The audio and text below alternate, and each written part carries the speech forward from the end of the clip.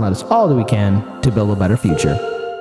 Uh, recently, we did talk about what happened to uh, Steven Donziger. For those of you who don't know, Steven Donziger is a true hero. He's the only, uh, he's, he's, one of the few people that actually stand up to big oil and actually make them uh, held accountable for their actions. And what was his reward? Well, his reward was, again, two years plus for house arrest, and now he was sentenced six months uh, for uh, six months for jail time. So that's his reward.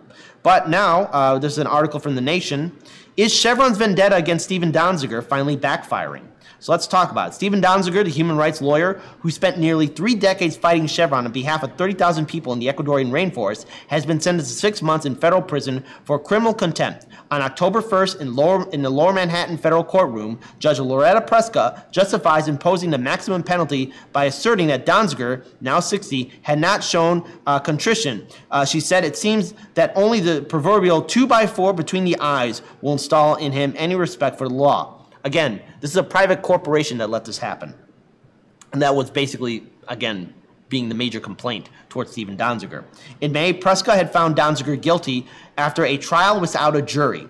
And now Donziger, along with his family and scores of supporters, had to listen to the federal judge compare him to a mule who needed to be beaten with a piece of wood before complying. Prior to sentencing, Donziger reminded the court in a polite and at times emotional statement that he already spent 700 787 days under house arrest in his New York City apartment, a confinement that had put great pressure on his wife and teenage son. He explained that the court imposed restrictions meant that his son had a father who was unable to travel, leave his home, except under narrow exceptions, with court permission 48 hours in advance, unable to even go out for a dinner, unable to have a father capable of doing all the things a father can do and should do with a child, including act with spontaneity. But even though Donziger was facing prison, he told the court he would not back down. I have been attacked and demonized for years by Chevron in retaliation for helping indigenous people in Ecuador try to do something to save their cultures, their lives, and our planet in the face of massive oil pollution. That's a context for why we are here today. In response, Preska read out a prepared 15 minute statement for a harsh sentence. Mr. Donziger spent the last seven plus years thumbing his nose at the U.S. judicial system, she said, now it's time to pay the piper. Again, I just want to remind everyone that Judge Preska kind of has some shady connections with Chevron. Again, we also covered last week on our Thursday show where, again, 100 federal judges failed and broke the law to recuse themselves from cases that they are also attached to as well. Seems like Judge Preska is in with that crowd as well. Our law system is corrupt, the judicial system the political system, our corporate media. Again, it's downright sickening. Continuing on, Donziger will not go to jail or go to prison immediately. His attorneys challenge the criminal contempt conviction, and they will also ask a higher court to put off his prison sentence pending the appeal. But Preska will keep him under house arrest, once again calling him a flight risk. In the past, she has warned that he has ties to Ecuador, insinuating that he would abandon his family and his New York City apartment to go live in the rainforest. I mean, again, that is downright disgusting for a judge to even say this. Again, this man has spent 787 days under house arrest. I doubt even Judge Preska can even do that for one minute. See, again, Preska's doing this because, again, as we've talked before, Corporations have the final say in our judicial system and in our political system. We see their ads on corporate media. Preska, Judge Preska, is being a good, loyal foot soldier to the establishment. Continuing on, you can't understand this latest injustice without looking back at Chevron's long campaign against Donziger, who again won a landmark pollution case against the oil giant in Ecuadorian courts in 2013. Chevron was ordered to spend 9.5 billion to clean up a contaminated area the size of Rhode Island and to pay for the health care of 30,000 Platans whose communities have seen a high number of cancer cases.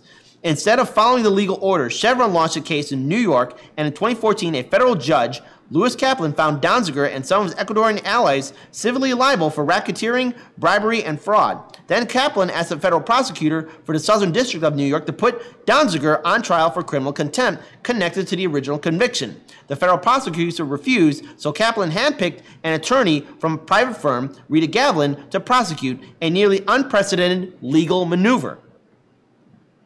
As Chevron's vendetta continued, international outrage grew. Just before senten- sentencing, the United Nations High uh, Commissioner for Human Rights issued an opinion in Donziger's favor, ruling that his two years of house arrest was illegal under international law and that he had been denied the right to a fair trial. A panel of five prominent jurists called the confinement uh, arbitrary and said that both judges, Kaplan and Preska, had shown a staggering lack of objectivity and impartiality. In court, Preska briefly acknowledged the UN findings, only then to dismiss them, like the good foot soldier that she is for the establishment. Once again, the mainstream media is largely ignoring Chevron's campaign of retaliation against Donziger. The New York Times, Donziger's hometown newspaper, reported nothing in the two days after the verdict and has barely mentioned the case in the past seven years. So, again, I want to urge everyone to read the full article in its entirety. But here's the thing that we're seeing on social media people are pushing back. We're seeing more people stand in solidarity with Steven Donziger. This case is getting more attention. This case is, again, bringing more, more, more awareness to what kind of system we are in. And that is Donziger right now, Steven Donziger, like many other heroic activists, whistleblowers, and people who are speaking truth to power, he's put he's being put on the chopping block as a warning that if you stand up against big oil, that if you stand up against the corporations, you're going to go to jail. You're going to lose your life. You're going to lose everything that you fought for. Are you not angry? Are you not mad? He did the right thing. He helped out those people in Ecuador. An oil spill the size of Rhode Island, my goodness. Chevron committed a crime. But it's Chevron that's now dictating who is guilty and not guilty. This is a private corporation that's doing this. This is a private corporation that has ties to a lot of lawmakers here in this country. Are you not angry? Are you not upset at what's happening to this man? Now, I wish his team all the best, and I think they do have a chance to push back. I just want to just say this about really how, again, Chevron uh, in fact, I want to pull this up from the article. You don't have to pull up the article itself, uh, Phase, but again, we have to recognize what, what's what's happening here. Um, Chevron's attacks against Donziger did not stop after it won the racketeering verdict.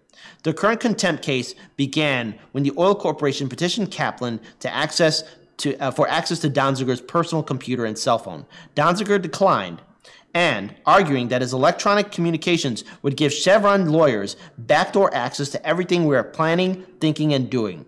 He said he would wait until the U.S. Court of Appeals heard his argument and that if it required him to, then he would hand over his electronics. Preska dismissed his defense and convicted him in May, again without a jury. It's vital to recognize Chevron's law, uh, role in this legal persecution. Its attorneys show up at every Donziger legal case, even the ones that don't directly involve the company. At the same time as Donziger was defending himself against a criminal contempt charge, he was also fighting the effort to take away his license to practice law in New York the State Bar Association appointed a special officer named John Horan to preside over open hearings. And he found in Donziger's and he found in Donziger's favor, Horan, a former prosecutor, had harsh words for Chevron. The extent of Donziger's pursuit by Chevron is so extravagant and that his point so unnecessarily and punitive, while not a factor in my recommendation, is nonetheless background to it. Months later, a higher New York State court tossed out Horan's finding and disbarred Donziger. So again, this is a private corporation that is doing everything it can to basically make Steven Donziger the sacrificial sheep. We need to tra- post this on social media. We need to be talking about this because, again, the New York Times, they're not going to talk about it. Other corporate media outlets, they're not going to talk about it, but we are. Steven Donziger did commit a crime. Steven Donziger deserves to be free. Steven Donziger deserves to live the rest of his life without being harassed by a corporation that again, that again committed the crime.